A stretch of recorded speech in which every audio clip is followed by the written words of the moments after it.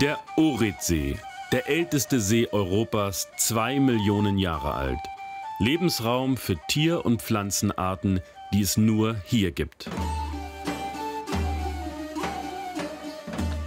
Die Menschen hier leben von der Fischerei, von der Landwirtschaft und dem Tourismus. Zentrum ist die Stadt Ohrid am Nordostufer des Sees.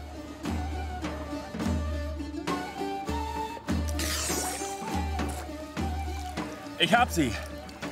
Die Perle vom Oritsee. Leider nur vom Oritsee und nicht aus dem Oritsee, denn der See selbst hat keine Perlen. Die hier habe ich mir unten zurechtgelegt.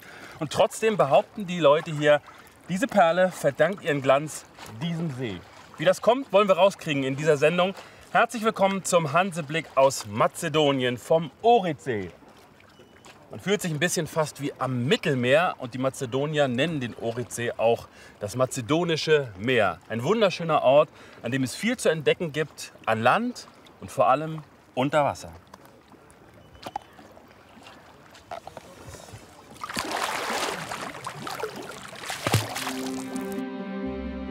Die Entdeckungsreise führt mich rund 2000 Kilometer von zu Hause entfernt in den Südosten Europas. Hier am Ufer des Ohridsees, in der sogenannten Knochenbucht, gleich neben einer jahrtausendealten Pfahlbautensiedlung, beginnt für mich die Spurensuche nach den begehrten Schmuckstücken. Die schöne, geheimnisvolle Ohridperle. Sie wächst nicht hier im See, so viel wissen wir schon, aber irgendetwas hat sie mit diesem See zu tun. Und was genau, dieser Frage wollen wir auf den Grund gehen, im wahrsten Sinne des Wortes. Wir tauchen ab auf den Grund des Oritsees. Tauchen ist eigentlich das Schönste, was man hier machen kann in diesem wunderschönen, klaren Gewässer. Und dazu habe ich mir einen Tauchpartner gesucht. Jovan. Hi, are Nice you? to meet you. Nice to meet you You, too. here, Du bist you're hier aufgewachsen, kennst den. See. Was ist das Geheimnis dieser Perle? Es gibt einen Fisch, der für den Glanz dieser uh, Perlen verantwortlich ist. Und das ist der Plaschica-Fisch. Sehen wir den heute? Uh, I'm not quite sure. Ich bin nicht but ganz sicher, aber try. wir versuchen es. Aber is der not Fisch ist ja the nicht die only einzige Attraktion hier im See, oder? Das stimmt. Der See ist mehr als zwei Millionen Jahre alt und hat so manche Geheimnisse zu bieten. Okay, make sure you pump up your jacket a little bit. And careful, it's slippery right there. Jovan hat gemeinsam mit seinem Vater eine Tauchschule direkt neben der Siedlung aus der Eisenzeit. Es ist ein perfekter Ort zum Tauchen, denn das Wasser ist klar und warm, heute etwa 20 Grad. Uh, we're going to start from here. Wir beginnen gleich hier und tauchen dann in einen Tunnel unter den Pfahlbauten durch. Ich schlage vor, dass wir auch die Unterwasserlampe mitnehmen.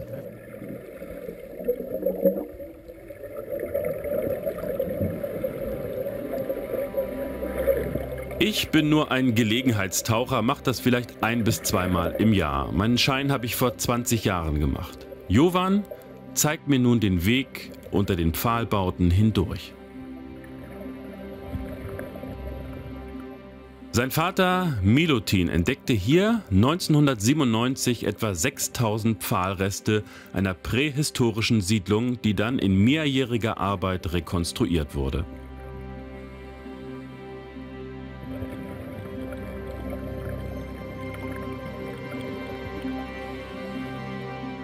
Jetzt tummeln sich hier tausende kleine Fische. Ist vielleicht auch unser geheimnisvoller Plaschica-Fisch dabei?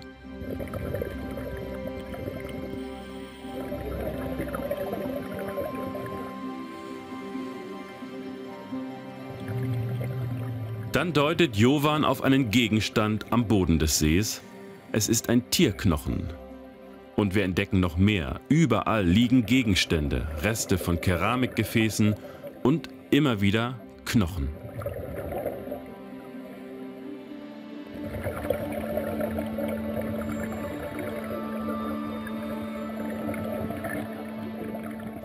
In diesem Bereich hier, zeigt mir Jovan, hat sein Vater damals die Pfahlreste entdeckt. Wahrscheinlich war es der Grundriss einer alten Hütte.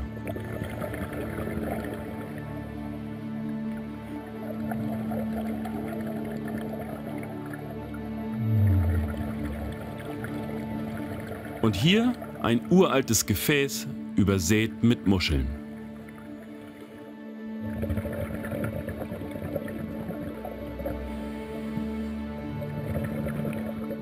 Nach etwa einer Stunde schwimmen wir zurück zur Tauchbasis.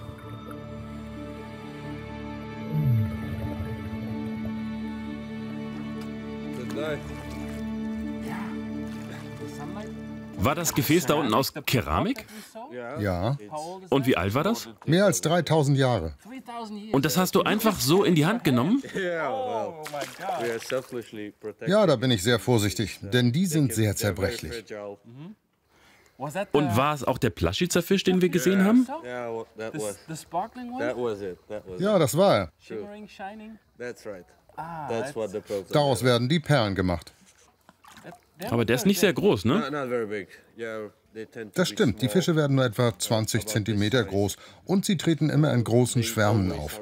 Ganz selten sieht man mal einen alleine. You rarely see one alone. They're always in a very big group.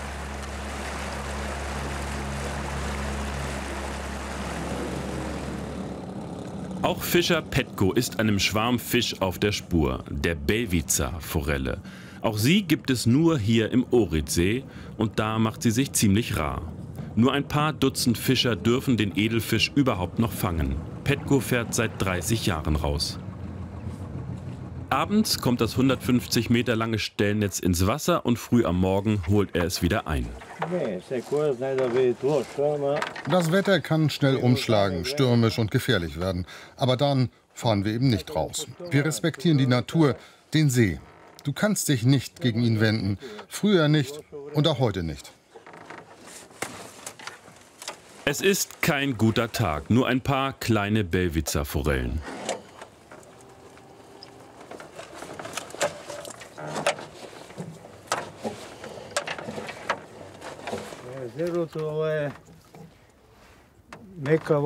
Ich liebe meine Arbeit trotzdem. Das Wasser des Sees ist so klar und so sauber, es kann sogar heilen.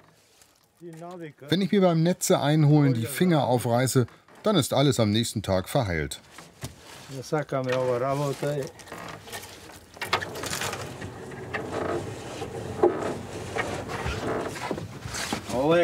Das hier ist ein Klen, ein echter Leckerbissen. Besonders der Kopf, den mache ich mir zum Mittag. Seine Forellen landen direkt in den Feinschmecker-Restaurants von Orit. Der Bedarf ist allerdings viel größer als das Angebot. Petko ist ein Stellnetzfischer vom alten Schlag. Manche Kollegen sind eher Angler als Fischer. Zwei Boote, 20 Plastikflaschen und 60 Blinker. Unter jeder Plastikflasche hängen mehrere Blinker übereinander in bis zu 40 Metern Tiefe. So ist die Chance auf Forellen am größten. Denn man weiß nie genau, in welchen Wassertiefen die Belvica-Forelle gerade auf Beutezug ist. Die Blinkerfischer Naji und Kiachi haben heute auch kein Glück. Und das, obwohl von 2003 bis 2012 ein totales Fischfangverbot im See galt.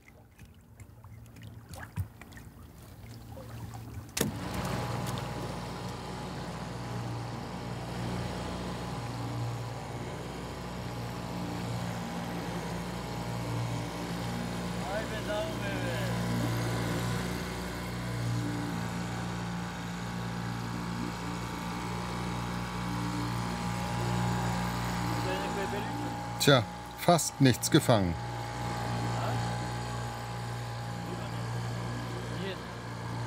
Schau mal, nur zwei Bellwitzer. Von den damals 300 Fischerfamilien sind gerade mal ein Dutzend übrig geblieben.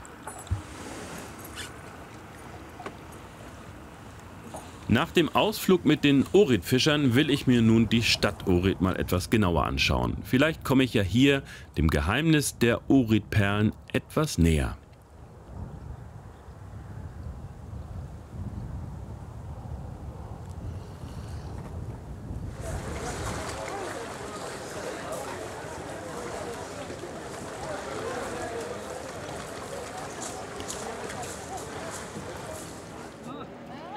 Der See, das ist die eine Schönheit von Ohrid, aber die Stadt selbst hat auch viele Sehenswürdigkeiten. Die gehört nicht umsonst seit vielen Jahrzehnten zum Weltkulturerbe. Und während man in anderen Städten einfach in ein Taxi steigt, um die Stadt kennenzulernen, mietet man sich hier einen Captain samt Boot. Und unser Captain heute ist Mitko, Mitko Muschek. Dobar dan. Dobar den. Mitko hat einige Jahre in Deutschland gearbeitet. Jetzt ist er einer von etwa 50 Wassertaxifahrern in Ohrid. Was ist das Schönste am See? Die Luft ist hier schön und äh, man sagt hier, wenn Sie auf die See sind, da ist eine ruhige Seele. Eine ruhige Seele auf Ja. dem See. Ohrid ist Weltkulturerbe. Warum? Was macht die Stadt so besonders und Ja, einzigartig? die, die Stadt ist sehr, sehr alt. Äh, wie ich weiß, hier, wo ist die Stadt gegründet heutzutage, ist ungefähr 4.500 Jahre alt. Aber vorher, man behauptet, es ist an einem anderen Platz angefangen, von 7.000 Jahren. Ohrid soll ganz viele Kirchen haben, stimmt das? Ja, Ganz- das stimmt. Wie viel? Von Hafen hier bis zu Heilige Johannes, nun dieser Teil sind acht oder neun. Insgesamt in der Stadt sind 17. 17 Kirchen. Ja, aber rundherum um die See, Struga, Ochrid, zur anderen Seite, zu Heilige Naum, sind 365 Kirchen. Für jeden Tag eine Kirche. Ja, Entschuldigung, 366. Ah. Wir haben noch eine schöne katholische Kirche hier jetzt, seit 20 Jahren. Sind Sie auch religiös? Gehen Sie in die Kirche? Ja, ich bin orthodox von Glaube, aber wir haben in der Familie auch Katholiken. Und Ihre Familie lebt schon lange hier in Ohrid? Ja, ungefähr über 700 Jahre. Oh, das ist lang. Das ist wirklich lang. Es gibt ältere Familien als meine. Ja.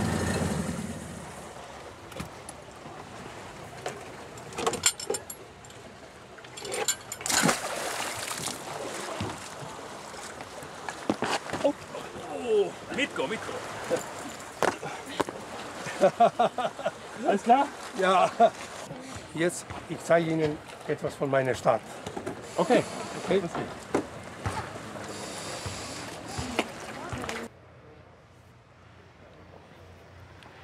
So viele Kirchen. Welche ist das jetzt hier, Mitko? Das ist Heilige Sophia, kathedralische Kirche von Anfang 10. oder Mitte äh, 11. Jahr oder so ungefähr.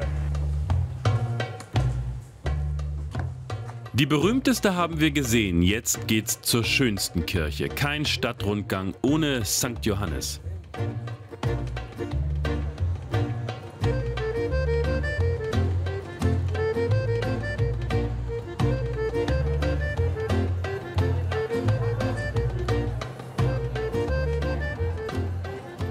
Kommen denn viele Touristen hierher? Von ganzer Welt. Ja? Ja. Japaner auch? Japaner auch. Von Südkorea, von äh, Taiwan und äh, von Indonesien, von überall kommen hier. Wenn Sie vergleichen, früher ähm, in Ihrer Kindheit, da war das ja. Ja. wahrscheinlich ganz ruhig hier und heute ist es ziemlich belebt, die vielen Ja, Touristen. das ist normal. Äh, Die Welt geht weiter. Und äh, Ohrid von Jahr zu Jahr ist immer mehr bekannt in der Welt. Und darum kommen so viele Leute hier. Die Natur hier, Gebirge, See, wenn man sitzt so außer Saison, so wie jetzt, in ruhiger Zeit, man fühlt sich so mit voller Seele einfach frei. Und zu Hause. Ja, und zu Hause, kann man sagen. Okay, vielen Dank, Mitko. Jetzt Ja. eine Frage noch zum Schluss. Wie hieß die Familie, die die echten Perlen herstellt? Zu denen will ich noch mal gehen. Oh, die sind, Ta Tali? die sind zwei Familien, Ja, die eine Talif? Talevi und Familie Filevi. Okay, da werde ich jetzt hingehen. Da werde ich hingehen und die nach ich empfehle echten... Ihnen, da hinzugehen und kann Sie schauen, unsere Perle. Okay, Ja, Mitko, vielen Dank. ja, alles Gute. In den kleinen verwinkelten Gassen von Ohrid gibt es rund 40 Geschäfte, die Perlen anbieten. Aber nicht alle sind echt. Also ehrlich gesagt, ich sehe den Unterschied nicht zwischen den echten und den unechten Perlen, aber die Leute sagen ja hier, das meiste ist chinesische Massenware. Und wie Mitko, unser Bootsfahrer, gesagt hat, gibt es nur zwei Familien in Ohrid, die noch wirklich echte Perlen herstellen. Eine davon sollen die Talifs sein. Steht sogar hier seit 1924 immer nach dem gleichen Rezept. Vielleicht verraten sie uns ja etwas. Doppel da. Sie müssen Clement Talef sein. Nice to meet you. Hello. Hi. Hello. Und Sie produzieren diese echten Ochidperlen. Sind Sie das hier? Wie kann man denn den Unterschied erkennen zwischen den echten Perlen und den unechten von nebenan. Tja, die Herstellung der Perlen ist sehr kompliziert und ganz anders als bei Schmuck oder Juwelen. Die Ore-Perle ist ein Naturprodukt. Der Kern besteht aus Perlmutt von Muscheln aus dem Roten Meer und aus Fernost. Material Perlmutt, Perl. Perlmut, Germanski, Mother of Pearl. Und dann werden die Perlen mit einer ganz speziellen Emulsion überzogen. So wird aus einer einfachen Perle eine Ohretperle. Mhm. Es ist die silberne Farbe der Schuppen des Plaschica-Fisches, die wir für die Emulsion benutzen Вадейки ги крлюшките от самата риба, по специјална технологија го вадиме рибиното сребро, кое служи како основа за добивање на емулзијата. Президент Трајковски Unser Präsident Traikowski hat der Königin von England eine Kette geschenkt und Präsident Gligorov Lady Diana. Und jetzt habe ich noch eine Frage. Dieses Geheimnis mit der Emulsion, das wird ja nicht verraten, aber könnten wir trotzdem mal zusehen, wie sie das herstellen, wie die Produktion bei Ihnen passiert zu Hause? Produktion? Können wir mal schauen? Da, da. Naja, gut. Sie haben die Ehre, meine Werkstatt zu sehen. Das darf wirklich nicht jeder. Die Perlen werden nur in meinem Haus hergestellt. Zu Hause. Die unscheinbare Perlenwerkstatt ist gleich um die Ecke. Dein Haus. Da, to je moja.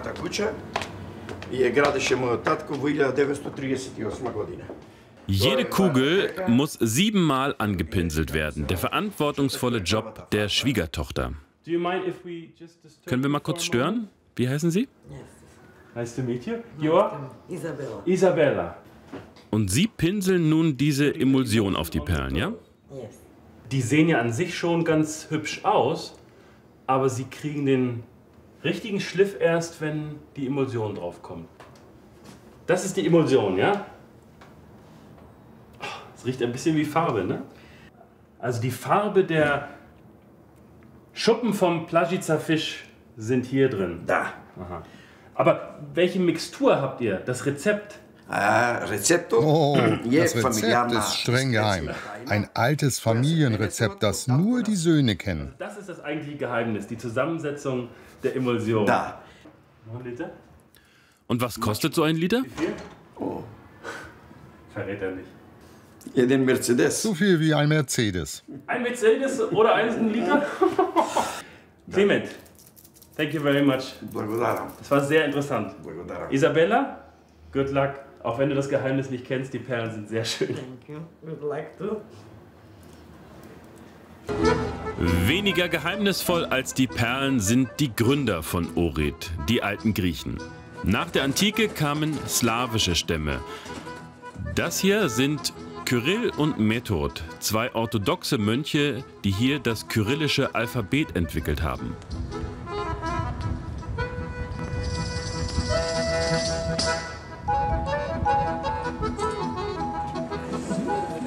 Jahrhundertelang sind in Ohrid verschiedene Religionen immer gut miteinander ausgekommen. Selbst als Jugoslawien zerfiel, blieb es hier friedlich. Nur die Urlauber aus Westeuropa blieben für ein paar Jahre weg. Aber inzwischen hat es sich längst herumgesprochen, dass Ohrid mehr ist als Tauchen und Angeln.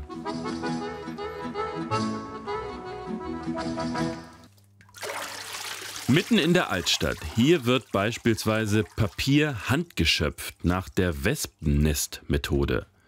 Auf die winzig kleinen Holzfasern kommt es dabei an. Mit dem Schöpfen und Trocknen verbinden sie sich zu Papier, ohne Klebstoff oder Chemie, eben wie Wespennester.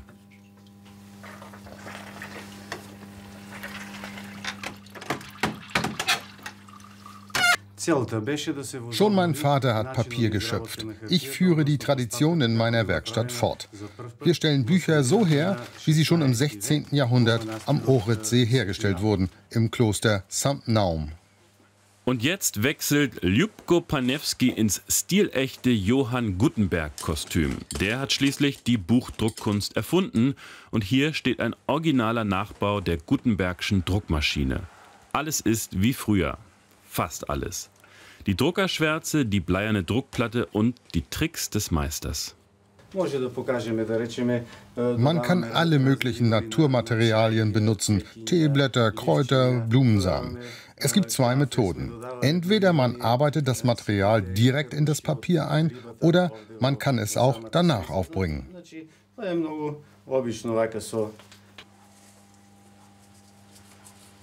Sein grob strukturiertes Papier mögen die Touristen aus dem Westen besonders gern und natürlich die in Leder gebundenen Notizbücher.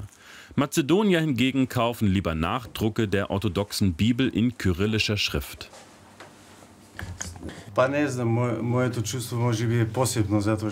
Es ist schon etwas ganz Besonderes, dieses Papier in den Händen zu halten.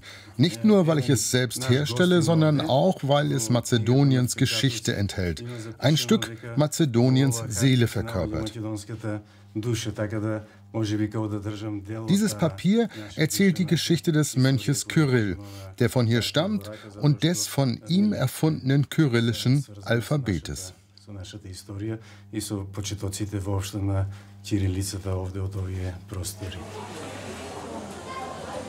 Eine Gasse weiter befindet sich die Galerie und Werkstatt von Marta Pejoska. Die Silberschmiedin hat gerade erst im Frühjahr ihr Atelier eröffnet, das erste seiner Art in Ohrid.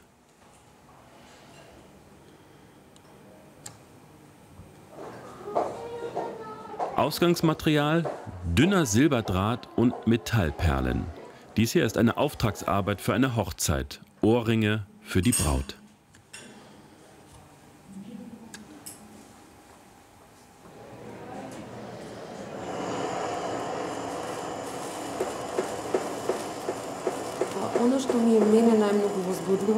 Ich arbeite mit der Filigrantechnik. Die gibt es schon seit 4000 Jahren.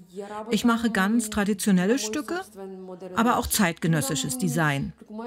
Was mir wichtig ist, jeder soll sofort erkennen, schau an, diesen Schmuck hat Marta Pejoska gemacht.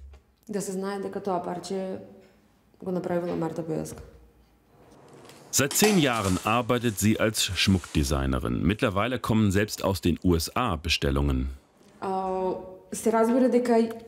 Natürlich könnte ich auch in eine größere Stadt ziehen und dort eine Galerie eröffnen. Aber ich fühle mich ganz stark mit meiner Heimatstadt verbunden. Ich bin glücklich, hier groß geworden zu sein. Meine Eltern sind Maler und Architekten. Ich bin in einem künstlerischen Ambiente aufgewachsen. Und schon als Kinder waren wir auf dem See unterwegs. Ich lebe gern in Ohrid.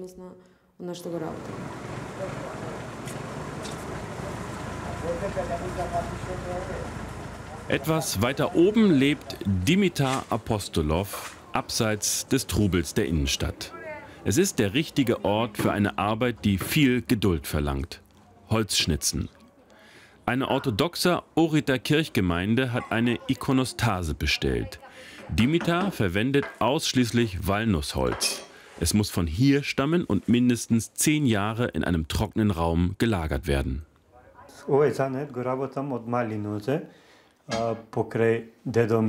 Ich mache das schon seit 20 Jahren. Angefangen hat alles an dieser Werkbank. Als Kind habe ich hier zusammen mit meinem Großvater gesessen.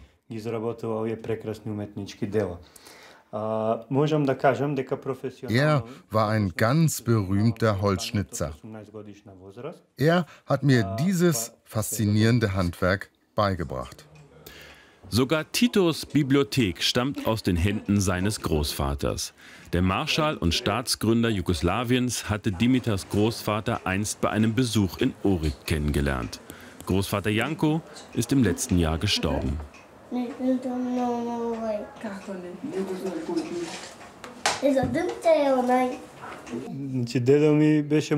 Mein Großvater war ein ganz friedlicher, ausgeglichener Typ. Sehr still, sehr in sich gekehrt. Wenn er an etwas gearbeitet hat, dann konnte ihn nichts stören. Vielleicht ist er auch deshalb 95 Jahre alt geworden. In der Wohnung erinnert das ganze Mobiliar an seinen berühmten Großvater.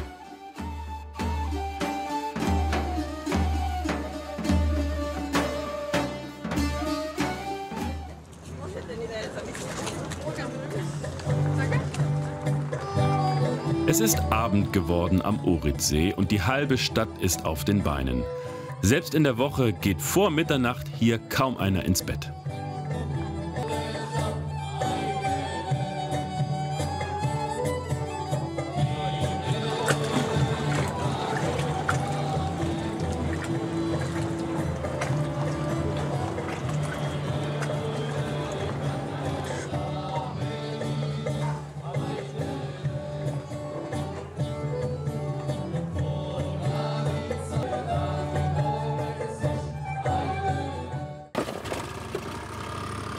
Nächsten Morgen mein zweiter Tauchgang steht bevor. Diesmal will mir Tauchlehrer Jovan etwas ganz Seltenes zeigen, das es nur hier im Oritsee gibt. Ready for the briefing? Mm-hmm. All right, so we're going to Wir wollen heute den Orit-Schwamm suchen. Dabei werden wir verschiedene Temperaturschichten durchtauchen.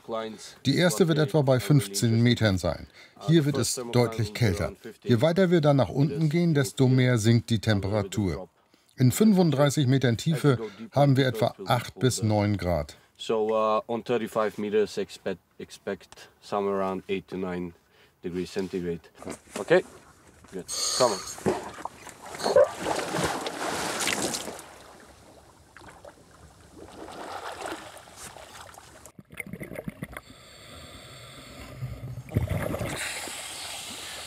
Diesmal tauchen wir zu viert, haben zwei Tauchschüler aus Holland und Australien dabei.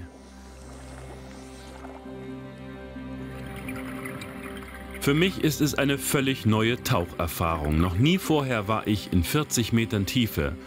Man sieht erstaunlich viel, weil der Oritsee nährstoffarm ist und deshalb wenig Schwebstoffe hat, erklärt mir Jovan.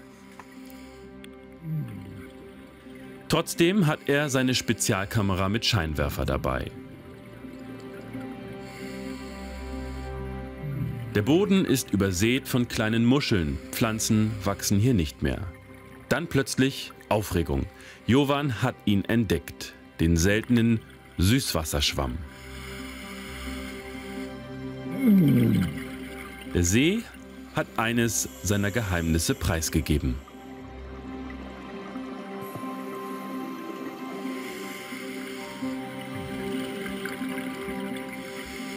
Doch lange können wir uns in dieser Tiefe nicht aufhalten. Vielleicht zehn Minuten, sonst wird der Stickstoffgehalt im Blut zu hoch. Und außerdem ist uns ziemlich kalt. Ganz allmählich geht es zurück ins flache Wasser. Wir schwimmen vorbei an Wasserpflanzen und da begegnen wir ihm wieder, dem berühmten Perlenfisch Plaschica.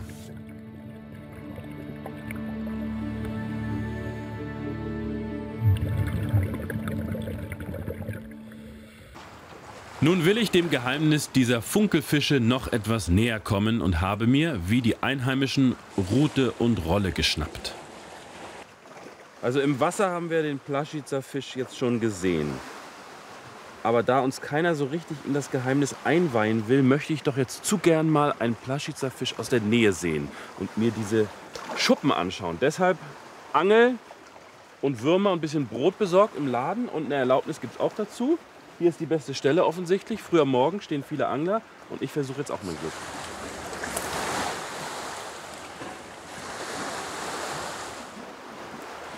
Klein, aber mein. Mein erster Fisch. Aber ob das jetzt ein Plaschica ist? Excuse me. Was ist Plaschica? Plaschica Fisch? Nee, Nee? nee, aber klein. Klein? Ah, kein Plaschica, aber schimmert auch ganz schön. Ja? Müssen wir noch mal probieren. Wo kann man denn Plaschica fe- fangen? Где Plaschica? Where? Was ist da nicht? Nee? Nicht. Niemand. Už wieder месяц. Има Brunet, Pisa, Klen, Mrena. Also alle möglichen Fische kann man hier fangen, bloß nicht Plaschica. Also der Sch- Fisch scheint irgendwie zu wissen, dass er irgendwie ein Geheimnis birgt und macht sich selbst beim Angeln rar. Große rote Punkte, das ist ihr Markenzeichen. Die Oritforelle, auch sie ist ziemlich begehrt hier am Oritsee. Gerade werden ein paar tausend sogenannte Fingerlinge verladen. Frischer Sauerstoff, damit die wertvollen Tiere nicht ersticken. Soran Spirkowski, der Forellenpapst, passt genau auf. Mit dem Forschungsschiff des Hydrobiologischen Instituts Ohrid geht es hinaus auf den See. Aber nicht irgendwohin, die Biologen steuern auf eine bestimmte Stelle zu.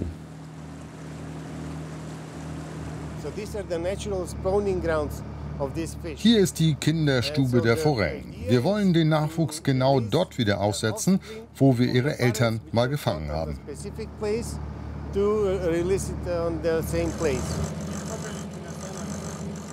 Vorher noch eine Wasserprobe aus 160 Metern Tiefe.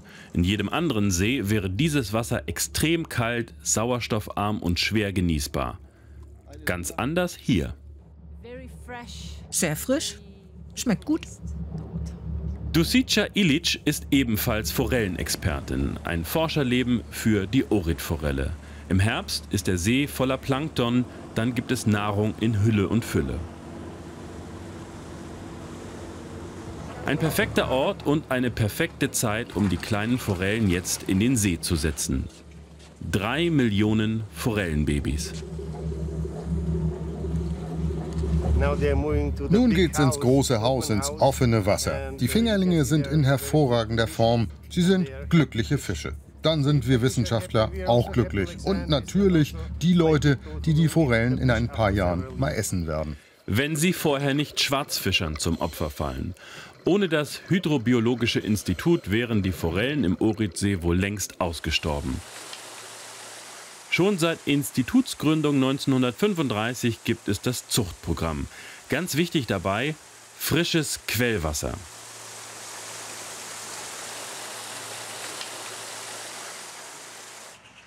Neun Monate lang werden die Jungfische in einem Spezialbecken bei Dämmerlicht aufgezogen. Regelmäßig untersucht man die kleinen Forellen auf Krankheiten und Parasiten.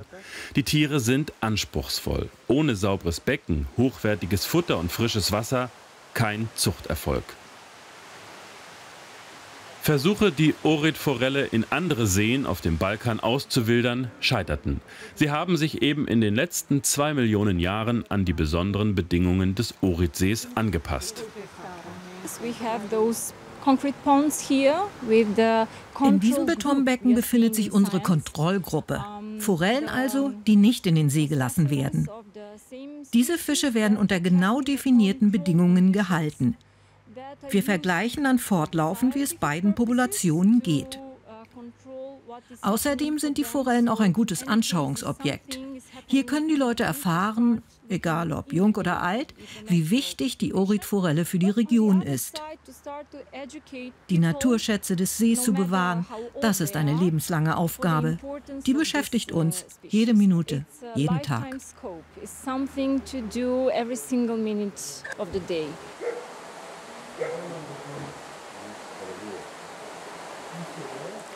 Seit kurzem überleben die empfindlichen Fische auch in Teichen in der Nähe von Ohrid. Sie gedeihen und wachsen dort, der Lohn für jahrelange Forschungsarbeit.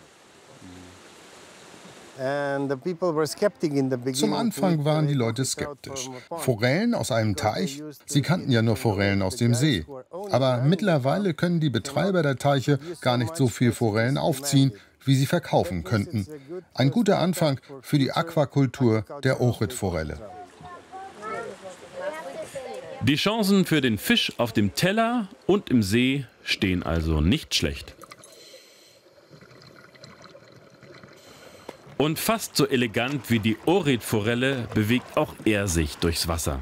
Schwimmer gibt es viele hier im Oritsee, aber nur einen so wie ihn. Die Sportfans unter Ihnen werden ihn gleich erkennen. Das ist der Schwimmkönig von Mazedonien, Alexander Malenko. Ups. Ja, die ja. guten Jahre sind schon ein bisschen vorbei.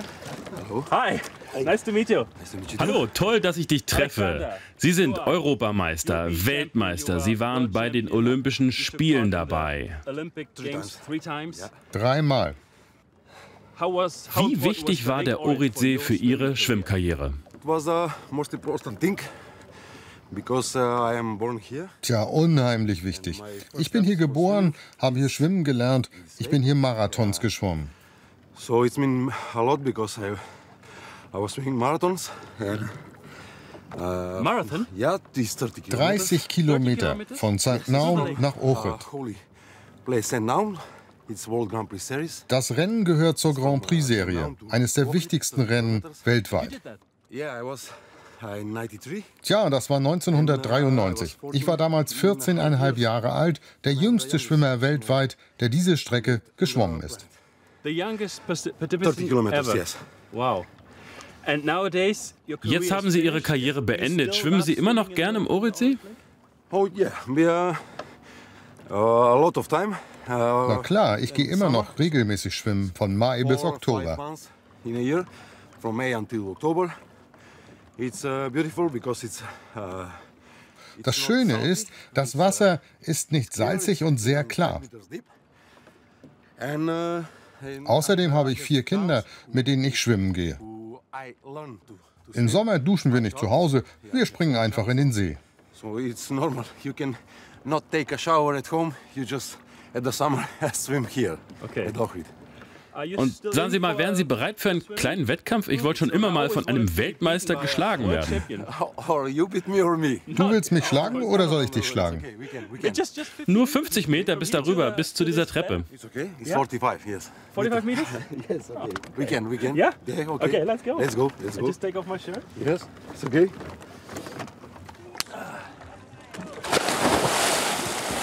Malenko links knapp in Führung und ich eine Körperlänge hinter der Schwimmlegende.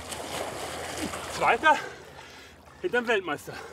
Or second after the world champion. Yes. It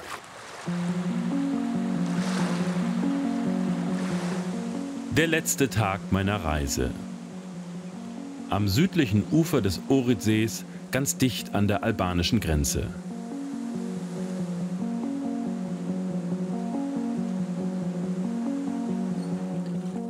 Es ist eine Landschaft wie im Märchen, mit seltenen Tier- und Pflanzenarten.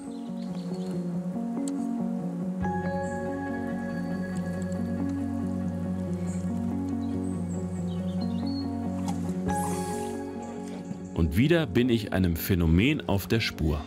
Unterwasserquellen. Wir haben ja schon immer gestaunt über das klare Wasser des Ohridsees, aber das hier übertrifft wirklich alles. Das ist einer der Zuflüsse für den Ohridsee, der da hinten ist. Das ist die Schwarze Drim.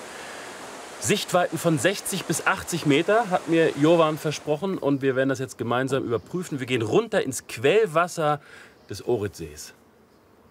Die Wassertemperatur hier liegt das ganze Jahr über konstant bei etwa 10 Grad. Wir haben uns einen dicken Neoprenanzug und Handschuhe angezogen.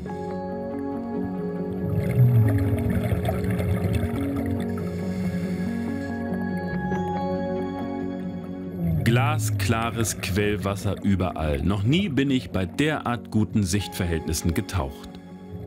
Es ist eine Traumwelt. Man fühlt sich wie in einem bunten Glaskasten. Alles aber streng geschützt. Wir dürfen hier nur mit einer besonderen Genehmigung tauchen.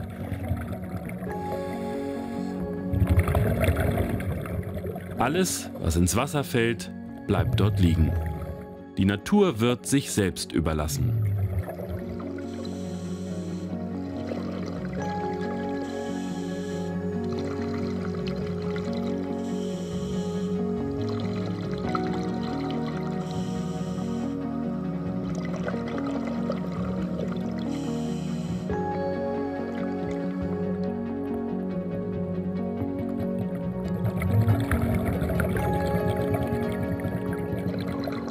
Ich habe wieder meine kleine Kamera mit dabei. Schließlich sind wir noch immer auf der Suche nach diesen ominösen Unterwasserquellen der schwarzen Drim.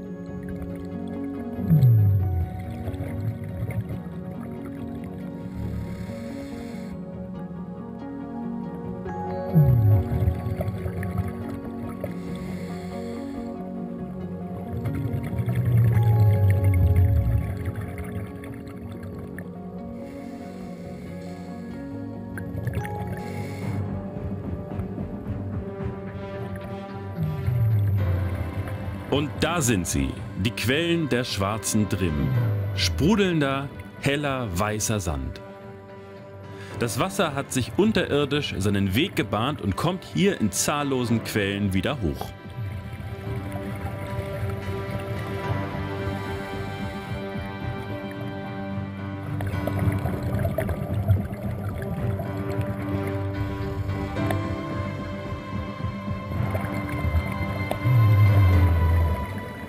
Dies ist quasi die Geburtsstätte des Oritsees.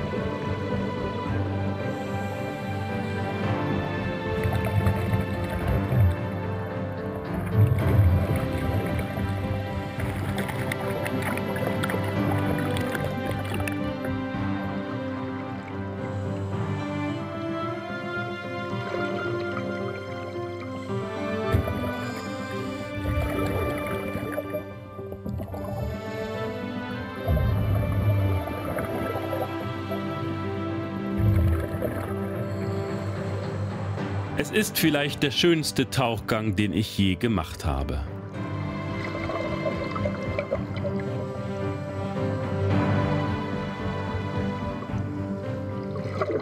Wer das Glück hat, hier zu tauchen, der möchte am liebsten gar nicht mehr an die Oberfläche. Aber irgendwann muss man ja, es ist ja kalt.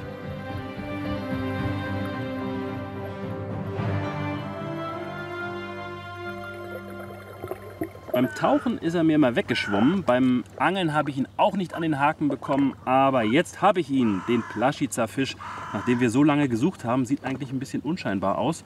War auch gar nicht so schwer, denn fast jedes Restaurant hier in Ohrid verkauft Plaschica. Man kann die nämlich auch essen. Die hier kommen auch gleich in die Pfanne. Vorher sollen sie ruhig noch ein bisschen funkeln für uns mit ihren Schuppen, die ja, wie wir gelernt haben, der Oritperle ihren Glanz verleihen. Und damit haben wir, glaube ich, zumindest teilweise das Geheimnis vom Oritsee gelüftet. Das war der Hanseblick aus Mazedonien. Machen Sie es gut. Tschüss.